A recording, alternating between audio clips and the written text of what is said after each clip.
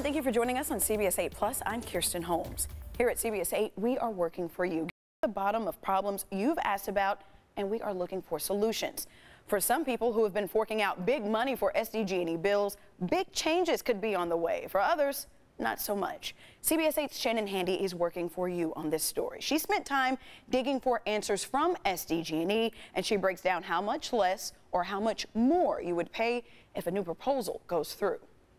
This change wouldn't go into effect for at least another year or more. Essentially, people would be billed based on their income. So while a lot of customers will wind up saving money, Others could pay more. The state legislature passed a law last year that uh, requires a real fundamental change in how electricity is priced in the state of California. That law, says Scott Crider, SDG&E's Vice President of External Affairs and Operations Support, requires California utility companies come up with a fixed rate plan as a way to help stabilize rates and make billing more equitable. Crider sat down with me to talk about SDG&E's joint proposal with PG&E and SoCal Edison, saying it differs greatly from how customers are billed now. Currently, you not only pay for how much electricity your household uses, but other things such as how that electricity is delivered. Both prices vary month to month.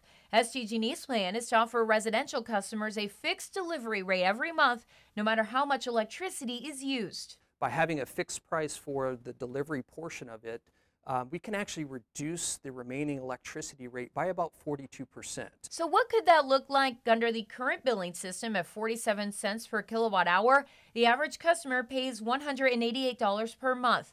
Under the fixed rate proposal, they pay $181. Here's a breakdown of where you'd fall based on your income. Households making less than $28,000 a year would pay a fixed delivery rate of $24 per month. Under 69,000, that fixed price goes up to $34. Between $69 and $180,000, $73. Households making over $180,000 will pay $128 a month. Everyone's average kilowatt hour rate drops from 47 cents to 27 cents. This proposal is income based, but some people feel uncomfortable about giving away their financial information. What's your response to that? I, we would agree. We don't want customers' financial information. Our perspective is the state it will be uh, very uh, is very capable to be able to do this and really be able to send us uh, the data that's needed. Crider tells me SDG&E would not make more profit under this plan, but I wanted to know with so many customers potentially saving money, how would SDG&E maintain its record numbers? To make SDG&E's profits stay consistent, if you have higher income customers pay more, it makes up for the savings from the lower and middle income customers. Yeah, that's correct.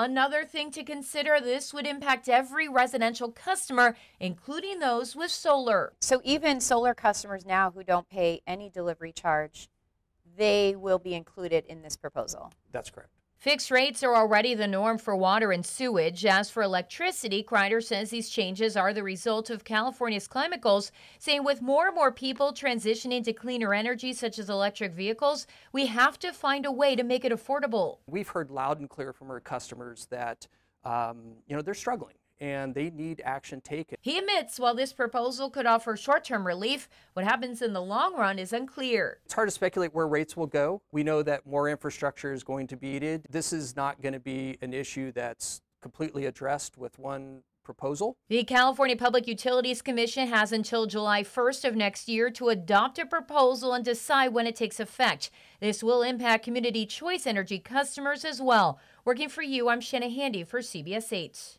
Thank you for that, Shannon. Okay, so a local teacher says thousands of dollars worth of his students' science equipment is now missing. We're talking equipment for technology, engineering, arts, and math. It was all inside his car when it got stolen while he was grocery shopping. CBS 8's Ariana Cohen is working for you on this story. She met with that teacher and she called police to see if there are any leads on this case. I met with Alex here at the Flower Hill Promenade parking lot due to safety concerns, but I want to be clear, the theft did not happen here. He tells me thousands of dollars worth of equipment was stolen at a Vons parking lot in El Cerrito. Alex Ferre is a teacher at Snapology in Solana Beach, a company that provides science, technology, engineering, arts, and mathematics, or STEAM learning through Lego robotics and engineering kits. About a month ago, he he was grocery shopping when he says something unexpected happened next. When I came back to the parking lot, my car was gone. And um, I knew it was a risk that something could have been taken, but I didn't realize that the whole car could have been taken, and uh, that was me not thinking forward. He tells me he thinks his car keys were pickpocketed from him. I believe my keys were stolen from my. I had a, a uh, I had a jacket on with big pockets, and I believe they just were able to steal it and pickpocket it from me.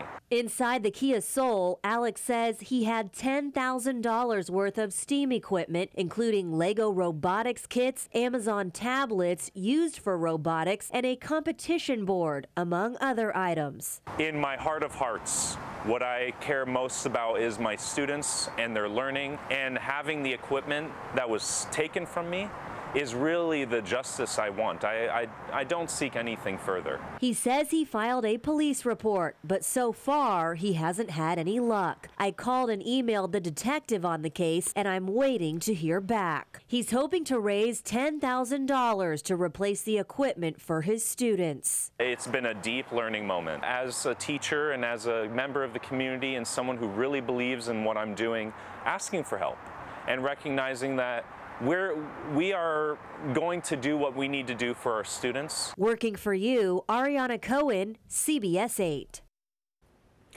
Neighbors in Mission Beach are hoping to get a problem fixed that they say has gone on for far too long. They tell us that city lights on the boardwalk have been out for years. CBS 8's Brian White is working for you to shed some new light on this situation. I just got done talking with the woman who reached out to us and her neighbors, and they say many of the lights here along the boardwalk are out, and at night it can get pretty dark around here. See this light right here?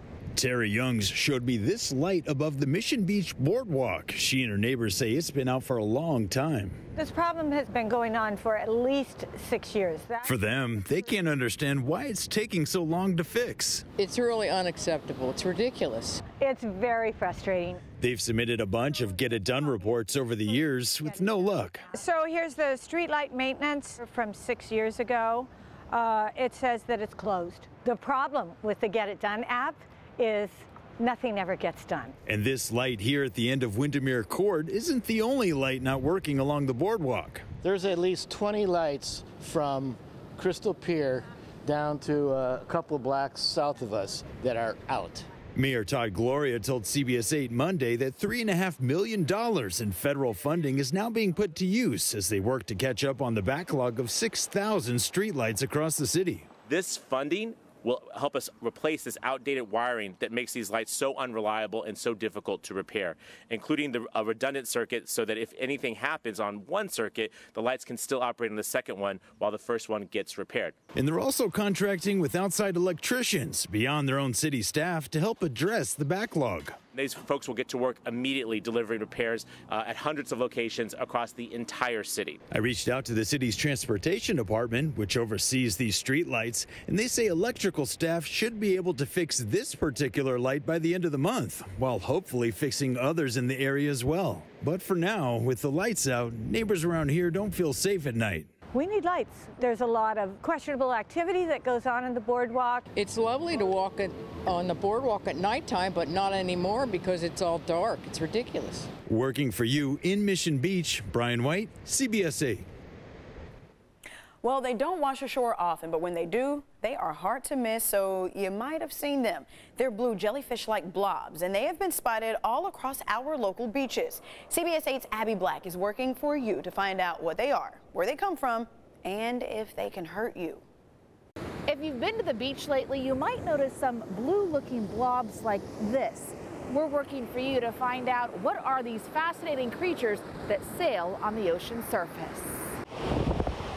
Camouflaged in the colorful rocks at Torrey Pine State Beach, you'll spot some unusual blue jelly-like creatures wedged in the sand. Right, they just blend in with the rocks really well. As Angelo Scolari was digging for rocks to throw, he couldn't help but notice the blue sails. Two of them here, another big guy up here.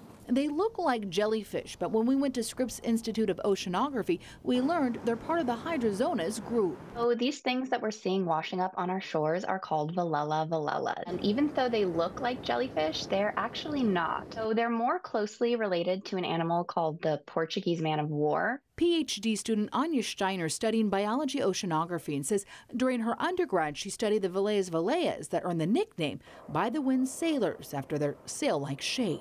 Which couldn't be more accurate because these guys really can't move themselves around in the water.